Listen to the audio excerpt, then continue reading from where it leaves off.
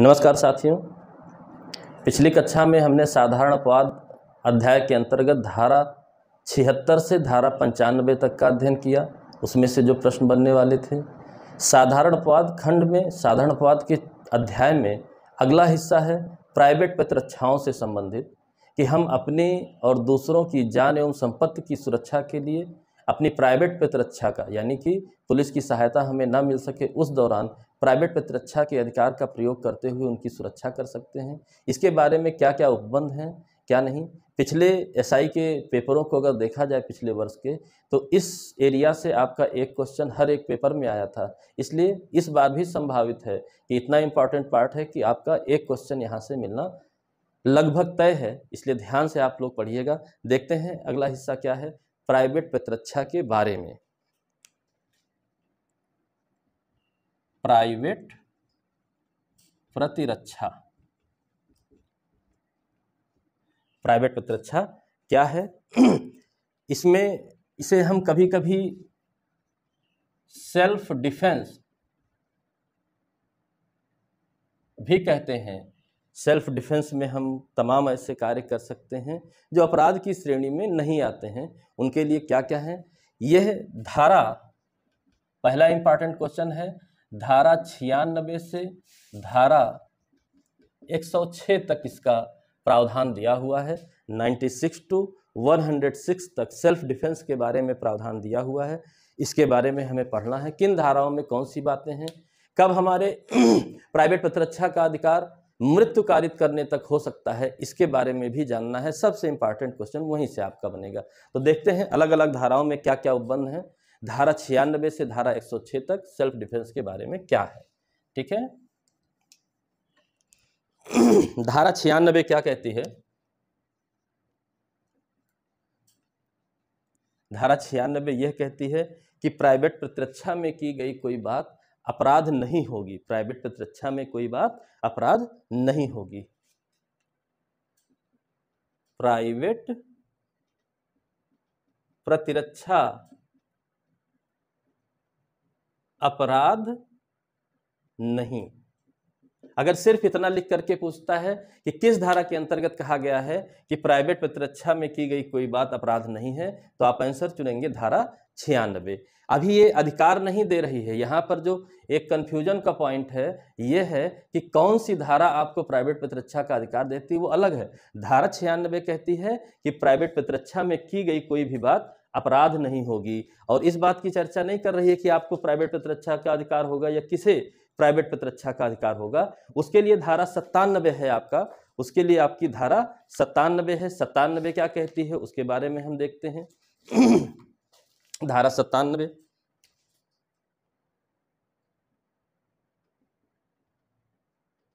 धारा सत्तानबे क्या कहती है? ठीक? अब बात आई प्राइवेट प्रतिरक्षा की कौन सी बात? शरीर और संपत्ति। हमें प्राइवेट प्रतिरक्षा का अधिकार किसके किसके लिए मिला है? शरीर के लिए और संपत्ति के लिए। किसकी शरीर? स्वयं की, अन्य की। इसी तरह संपत्ति किसकी? स्वयं की, अन्य की। यानी कि हमें शरीर के विरुद्ध, शरीर अपने बचाने के लिए प्राइवेट प्रतिरक्षा का अधिकार प्राप्त है, संपत्ति बचाने के लिए प्राइवेट प्रतिरक्षा का अधिकार प्राप्त है। किसकी शरीर? स्वयं की शरीर के विरुद्ध भी अपराध न होने देना, अन्य लोगों के भी शरीर की सुरक्षा आप कर सकते हैं। स्वयं की संपत्ति की भी सुरक्षा कर सकते हैं, अन्य की भी सुरक्षा कर सकते हैं। सिर्फ़ आपको अपने ही शरीर की नहीं, अपने ही संपत्ति की नहीं, अपने साथ साथ अन्य के भी शरीर और संपत्ति की प्राइवेट प्रतिरक्षा का अधिकार दिया गया है। धारा सत्तानबे में इसमें लिखा हुआ है कि हर व्यक्ति हर व्यक्ति को अधिकार होगा।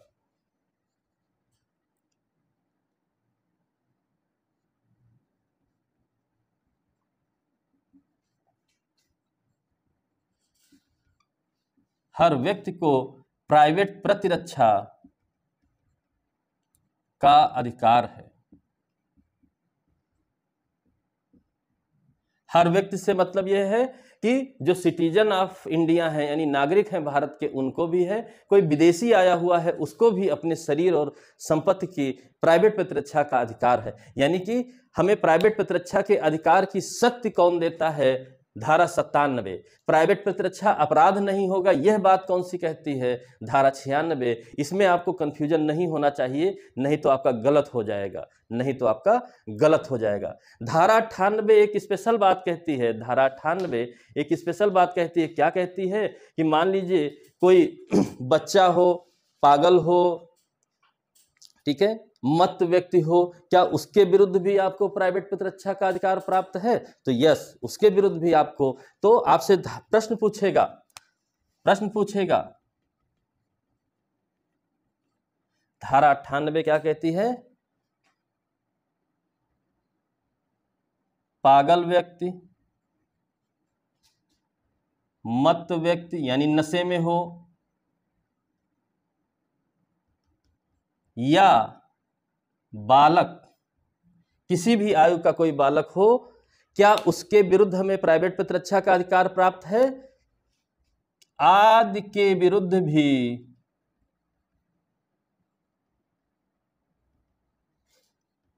प्राप्त है। ठीक है? यानी कि पागल व्यक्ति अगर आपके शरीर या संपत्ति को नुकसान पहुँचा रहा है, आप अपने प्राइवेट प्रतिरक्षा की शक्ति का उपयोग कर सकते हैं। मत व्यक्ति नशे में कोई व्यक्ति है, वो आपके शरीर या संपत्ति को नुकसान पहुँचा रहा है तो उसके विरुद्ध भी आप प्राइवेट प्रतिरक्षा का अधिकार है। कोई बालक है, बालकपन में अगर इस तरीके की कोई एक्टिविटी कर रहा है तो आपको उसके विरुद्ध भी प्राइवेट प्रतिरक्षा का अधिकार प्राप्त है। प्रश्न पूछेगा कि किसी पागल के विरुद्ध, किसी मत व्यक्ति के विरुद्ध या बालक के विरुद्ध आपको प्राइवेट प्रतिरक्षा का अधिकार किस धारा के अंतर्गत प्राप्त है? आप बताएँगे धारा अट्ठानबे के अंतर्गत प्राप्त है। यानी तीनों तीन तरीके की, तीनों तीन तरीके की बातें कहते हैं। धारा छियानबे कहती है, प्राइवेट पत्र अच्छा अपराध नहीं। धारा सत्तानबे कहती है, आपको अपने और दूसरे की शरीर और संपत्ति की प्राइवेट प्रतिरक्षा का अधिकार है। धारा अट्ठानबे कहते हैं कि यह अधिकार पागल व्यक्ति, मत व्यक्ति और बालक के विरुद्ध भी आपको प्राप्त है। तीनों धाराएँ मोस्ट इंपॉर्टेंट हैं। तीनों मोस्ट इंपॉर्टेंट धाराएँ हैं तो ये आप मान के चलिए, इनमें से कोई भी प्रश्न आपका आ सकता है। धारा छियानबे से लेकर के धारा अट्ठानबे ये एक तीनों एक क्रम में लिखी हुई हैं, इसको ध्यान रखिएगा। इसका स्क्रीनशॉट आप ले लीजिए। इसके बाद अगली बात, धारा निन्यानवे कौन सी बात कहती है? धारा निन्यानवे बात कहती है कि प्राइवेट प्रतिरक्षा के अधिकार की लिमिट क्या होगी? आप कितना स्तर तक बल प्रयोग कर सकते हैं? इस बात के लिए धारा निन्यानवे है तो धारा निन्यानवे आप लिख लीजिए, ठीक है? कि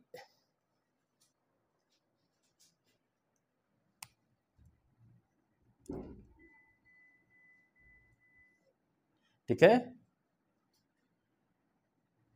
प्राइवेट प्रतिरक्षा के अधिकार की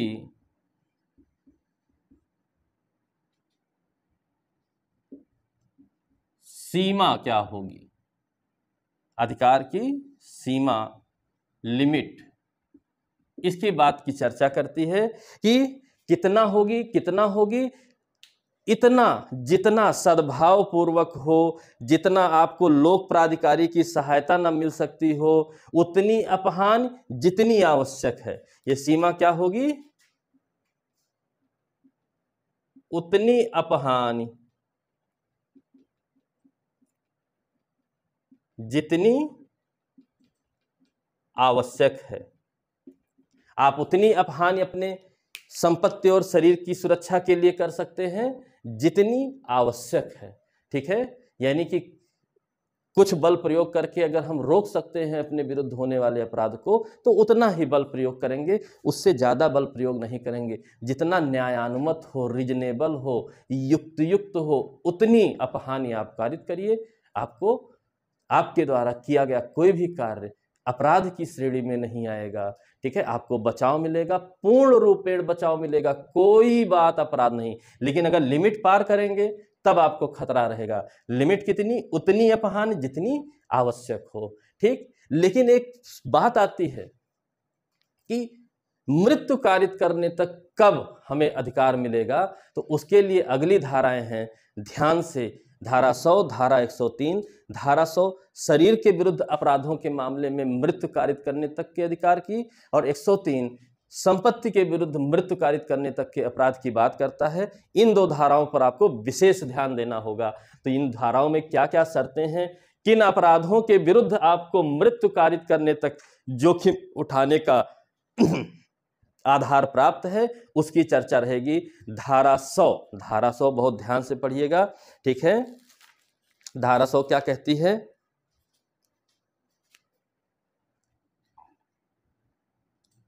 धारा सौ मोस्ट इंपॉर्टेंट सबसे इंपॉर्टेंट धाराओं में है। यहाँ की धारा सौ कहती है, शरीर के विरुद्ध अपराध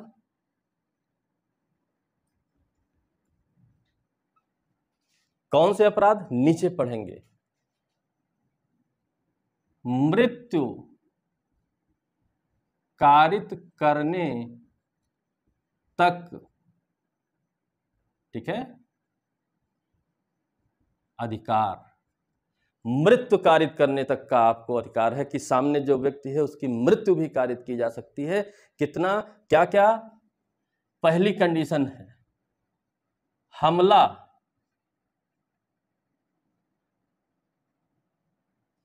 मृत्यु के आशय से। आपके ऊपर हमला होता है, उस हमला का उद्देश्य क्या है कि आपकी मृत्यु कारित कर दी जाए? तो आप सामने वाले हमलावर की भी मृत्यु कारित कर देंगे तो आपने कोई अपराध नहीं किया है। हमला कैसा हो कि ऐसा हो कि आशय से, मृत्यु के आशय से कि जिसका परिणाम मृत्यु कारित करना हो जाए, आपकी मृत्यु हो सकती है तो आप अपने अधिकार का प्रयोग उस हमलावर के मृत्यु कारित करने तक का कर सकते हैं। दूसरा है,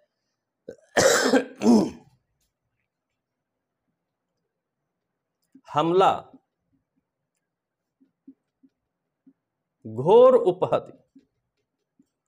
ऐसा हमला आप पर हो रहा है जिससे आपको घोर उपहति हो जाएगी। ठीक है? केवल उपहत नहीं, घोर उपहति, ग्रेवियस हर्ट हो जाएगा। ठीक है? उस कंडीशन में भी आप हमलावर की मृत्यु कारित करने तक का अपने अधिकार का प्रयोग कर सकते हैं।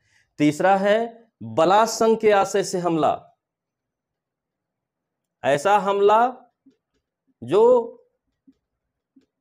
बलात्संग के आशय से किया गया हो, ठीक है? यानी रेप। रेप के आशय से अगर हमला किया गया है रेप कारित होने की संभावना है तो आप हमलावर की मृत्यु कारित करने तक का जोखिम उठा सकते हैं, कोई बात अपराध नहीं होगी। चौथा है, हमला ऐसा प्रकृति विरुद्ध काम तृष्णा। चौथा है, प्रकृति विरुद्ध काम तृष्णा। ऐसा हमला जो प्रकृति विरुद्ध काम तृष्णा, ठीक है? यानी कि ऐसा सेक्सुअल हेरेसमेंट जो अननेचुरल हो नेचुरल तरीका नहीं अननेचुरल तरीके से अगर काम तृष्णा की कोई पूर्ति कर रहा है, प्रकृति के विरुद्ध, प्राकृतिक व्यवस्था के विरुद्ध तो उस हमले के विरुद्ध भी आप हमलावर की मृत्यु कारित करने तक का जोखिम उठा सकते हैं। प्रकृति विरुद्ध काम तृष्णा के लिए आशय से हमला हो। पांचवा है, व्यपहरण या अपहरण के आशय से किया गया हमला। पांचवा है आपका, ई है व्यापहरण या अपहरण।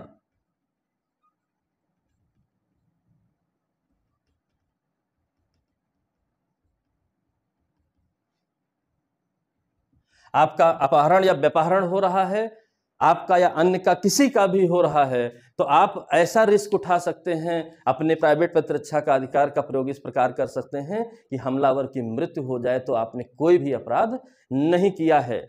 छठवां है सदोष परिरोध। छठवां क्या है आपका? सदोष परिरोध।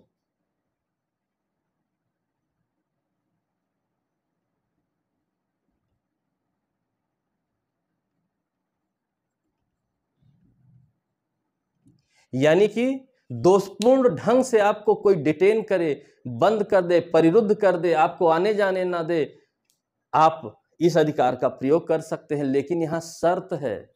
सदोष परिरोध के मामले में एक शर्त है। यहाँ पर यदि लोक प्राधिकारी की सहायता न प्राप्त हो सके। यानी कि ऐसी जगह परिरुद्ध कर रहा है कि आप कितना भी चिल्लाइए उल्लाइए, कोई नहीं सुनेगा लोक प्राधिकारी की सहायता नहीं मिलेगी। तब अंतिम रास्ता क्या बचा? उसको मार के भाग जाइए। लेकिन अगर सहायता मिलने की संभावना है, ठीक है तब आपको मृत्यु कारित करने तक का अधिकार नहीं होगा। यह अधिकार तभी आप प्रयोग कर सकते हैं सदोष परिरोध के विरुद्ध, जब लोक प्राधिकारी की सहायता आप प्राप्त नहीं कर सकते हैं। ठीक है? अगला है सातवां, ये नया जोड़ा गया है। ठीक है? 2013 में जोड़ा गया है। सातवां 2013 में जोड़ा गया है। पहली चीज़ 2013 भी जानना है। आजकल एसिड अटैक की घटनाएँ बढ़ रही हैं तो उसके लिए भी जोड़ा गया है जी में 2013 में, ठीक है? अम्ल से हमला, जिसको आप एसिड अटैक के नाम से जाने जाते हैं। अगर अम्ल, तेजाब आदि को कोई फेंक रहा है, अम्ल से हमला कर रहा है, ठीक है? उसका प्रयत्न कर रहा है घोर उपहति हो सकती है, मृत्यु तक हो सकती है। तो आपको भी अब 2013 में जुड़ गया है। अब आपको अधिकार है कि आप मृत्यु कारित करने तक अपने अधिकार का प्रयोग कर सकते हैं। यानी कि धारा सौ में सात आधार दिए गए हैं। सात आधारों में के आधार पर यदि आप पर हमला हो रहा है तो आप जोखिम कितना उठा सकते हैं? हमलावर की मृत्यु कारित कर देंगे। तब भी कोई बात अपराध नहीं होगी। यानी कि इन सातों आधार पर प्राइवेट प्रतिरक्षा के प्रयोग के दौरान यदि हमलावर की मृत्यु हो जाती है तो आपने कोई अपराध नहीं किया है। सातों आधार याद रखिएगा। प्रश्न पूछेगा कि निम्नलिखित में से किन आधारों पर या कैसा आपके विरुद्ध अपराध हो कि आप मृत्यु कारित करने तक अपने प्राइवेट प्रतिरक्षा के अधिकार का प्रयोग कर सकते हैं? धारा सौ के अनुसार तो आप बताएँगे, मृत्यु के आशय से हमला हो घोर उपहत के आशय से हमला हो, रेप के आशय से हमला हो, प्रकृति विरुद्ध काम तृष्णा के आशय से हमला हो, अपहरण व्यापहरण के आशय से हमला हो, सदोष परिरोध के आशय से हमला हो, लेकिन लोक प्राधिकारी की सहायता नहीं प्राप्त की जा सकती या एसिड अटैक हो, अम्ल से हमला हो तो हम हमलावर की मृत्यु कारित करने तक का रिस्क उठा सकते हैं। इसका इस स्क्रीनशॉट आप ले लीजिएगा। ये मोस्ट इंपॉर्टेंट है। यहाँ से मान कर चलिए, लगभग आपका प्रश्न आएगा ही आएगा। आपका प्रश्न आएगा ही आएगा। इस बात को याद रखे रहिएगा। ठीक? ये धारा सौ कहती है, शरीर। शरीर शब्द ज़रूर याद रखिएगा। शरीर वाला मामला धारा सौ में है। ठीक? संपत्ति वाला मामला 103 में जाएगा।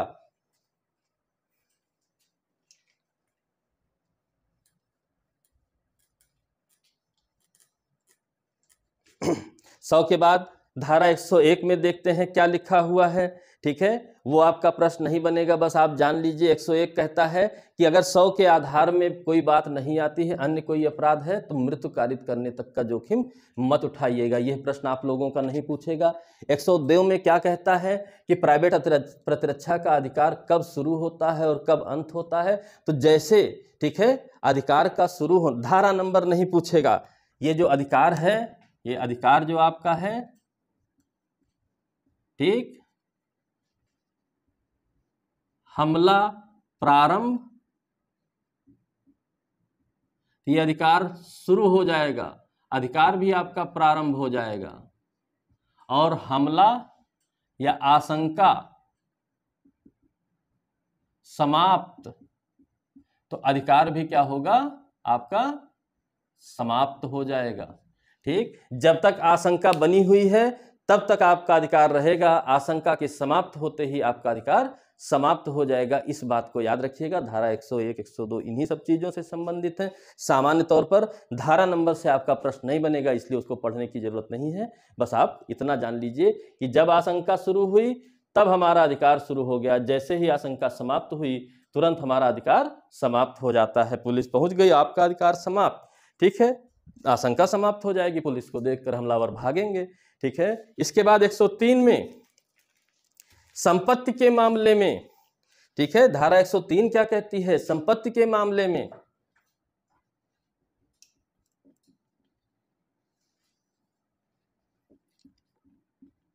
संपत्ति के विरुद्ध अपराध, यहाँ पर मृत्यु कारित करने तक अधिकार। वे कौन से अधिकार हैं? वे कौन से अपराध हैं जो संपत्ति के विरुद्ध होते हैं? कि जब आप मृत्यु कारित करने तक का रिस्क उठा सकते हैं, वो धारा 103 में लिखा हुआ है, पहला है लूट। लूट जानते हैं, लूट आगे पढ़ेंगे। अगर आपको कोई लूट रहा है आपकी संपत्ति तो आप मृत्यु तक का जोखिम उठा सकते हैं। लूट क्या है? ये हम अगली धाराओं में पढ़ेंगे, जब अपराधों के बारे में पढ़ेंगे। लूट अगर हो रही है तो मृत्यु कारित करने तक। दूसरा है रात्रोग्रह वेदन।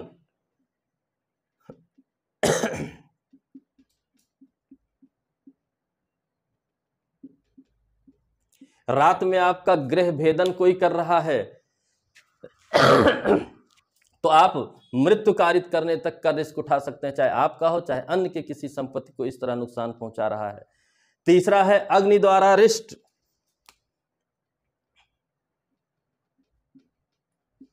अग्नि द्वारा रिष्टि। आप जहाँ रहते हैं, भंडार करते हैं, कुछ भी आपने उपयोगी स्थान बना रखा है, यदि आग कोई लगाने जा रहा है तो आप मृत्यु कारित करने तक का अपने अधिकार का प्रयोग कर सकते हैं। आग लगाना उसी कैटेगरी में जाएगा कि आप मृत्यु की, ठीक है, चाहे आपके आवास के रूप में हो या संपत्ति आदि रखने के लिए गोदाम के रूप में हो, कहीं पर भी, चाहे आवास हो, चाहे गोदाम हो, कहीं पर भी यदि कोई अग्नि द्वारा नुकसान पहुँचा रहा है आग लगाकर तो आप मृत्यु कारित करने तक के अपने अधिकार का प्रयोग कर सकते हैं। चौथी कैटेगरी अलग है चोरी, रिष्ट या गृह अत्याचार चोरी, रिष्ट या गृह अत्याचार लेकिन यहाँ भी शर्त है। चोरी, रिष्ट या गृह अत्याचार अगर ऐसा कोई अपराध कर रहा है, इसके साथ अगर मृत्यु की आशंका हो जाए मृत्यु की आशंका हो जाए। केवल चोरी, केवल रिष्ट, केवल गृह अत्याचार में आपको अधिकार नहीं है मृत्यु तक अधिकार का प्रयोग करने का। लेकिन इस चोरी के दौरान, रिष्ट के दौरान गृह अत्याचार के दौरान यदि आपकी या किसी की मृत्यु की भी संभावना जुड़ जाए तो आपके अधिकार का प्रयोग मृत्यु कारित करने तक का हो जाएगा। ये चौथा इस तरीके से जो है, शर्त के साथ है। यानी कि कोई लूट कर रहा है आपके साथ, उसकी मृत्यु कारित कर सकते हैं। रात में गृह भेदन कर रहा है, उसकी मृत्यु कारित कर सकते हैं। अग्नि द्वारा रिष्ट कर रहा है, चाहे आवास में, चाहे गोदाम में, मृत्यु कारित करने तक का अपने अधिकार का प्रयोग कर सकते हैं।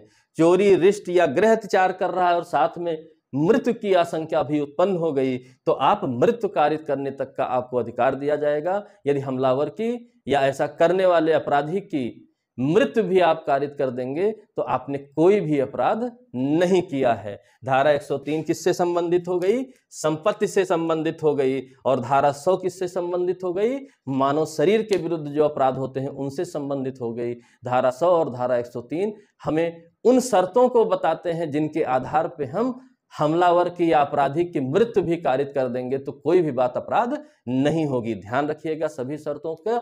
और इसकी भी आप फ़ोटो ले लीजिए, चारों आपको याद रहना चाहिए। यही आधार बना करके पूछेगा कि निम्नलिखित कौन कौन से आधार हो सकते हैं, संपत्ति के विरुद्ध कौन कौन से अपराध हो सकते हैं। जब आपको प्राइवेट प्रतिरक्षा का अधिकार मृत्यु कारित करने तक का होगा तो आप बताएँगे, लूट, रात्रोग्रह, भेदन, अग्नि द्वारा रिष्ट चाहे आवास में हो, चाहे गोदाम में, चोरी रिष्ट या गृह अत्याचार जहाँ मृत्यु की आशंका हो जाए, ऐसे मामलों में हमारे प्राइवेट प्रतिरक्षा का अधिकार मृत्यु कारित करने तक का होता है। क्लियर? ये चीज़ों को आपको जानना है। फिर इसी तरीके से 104 क्या कहता है? 104 कहता है कि अगर ये शर्तें पूरी नहीं हैं तो आप मृत्यु कारित नहीं कर सकते हैं। यह शर्तें अगर पूरी नहीं हैं तो आप मृत्यु कारित नहीं कर सकते हैं। ये शर्तें पूरी हैं, तभी कारित कर सकते हैं। तो 104 से भी क्वेश्चन नहीं आएगा। 105 क्या कहता है कि अधिकार आपका कब शुरू होगा, कब अंत होगा? तो यहाँ पर भी ये कहते हैं कि जब आशंका शुरू हो जाएगी, तब प्रारंभ हो जाएगा। जब आशंका समाप्त हो जाएगी, तब समाप्त हो जाएगा। इसलिए 104 और 105 से प्रश्न सामान्य तौर पर नहीं पूछा जाएगा आपसे। 106 कुछ और कहता है।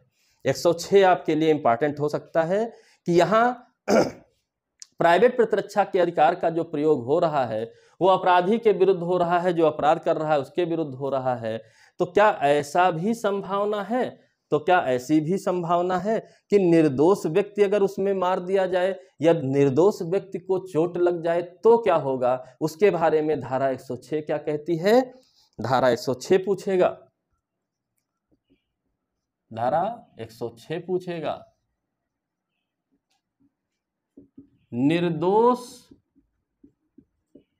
व्यक्ति को, ठीक है, क्षति पहुँचे।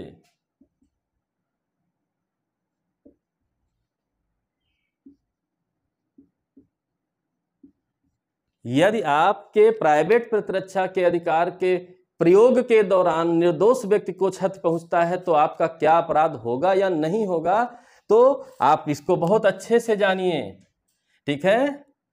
जोखिम उठा सकते हैं।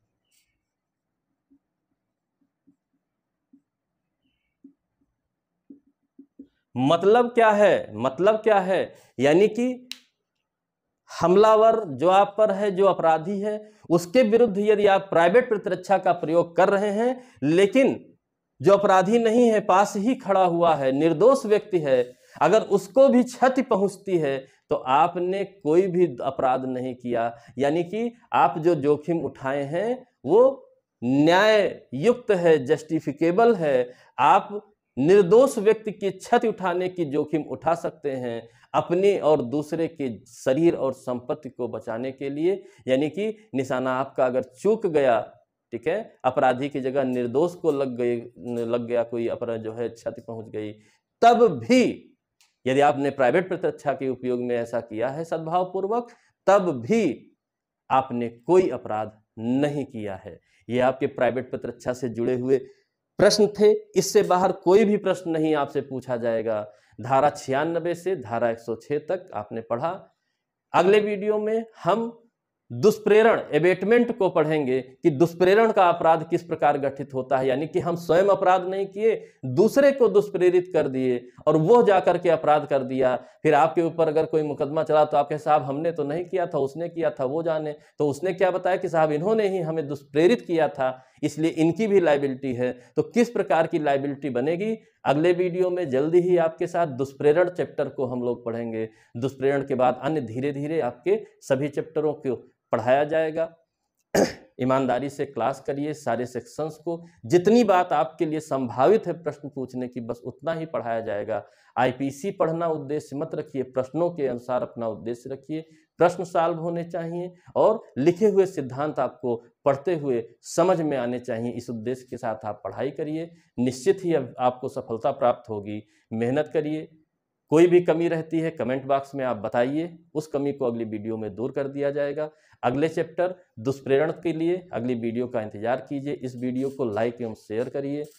वेल आइकान दबा दीजिए ताकि जितनी जैसे ही वीडियो अपलोड हो आपके पास तुरंत पहुँच जाए उसकी सूचना कि हाँ अगले चैप्टर का वीडियो अपलोड हो गया है। इन चीज़ों को करते हुए अपनी पढ़ाई पर ध्यान दीजिए। परीक्षाएँ होने वाली हैं, इसलिए मेहनत से दोहराइए। स्क्रीन शॉट आदि आप ले लीजिए ताकि कोई समस्या ना रहे, ठीक है? यह भी आपका प्रश्न है, इसका भी स्क्रीनशॉट ले लीजिए अगली वीडियो में एबेटमेंट या दुष्प्रेरण के साथ हम फिर उपस्थित होंगे, तब तक के लिए धन्यवाद।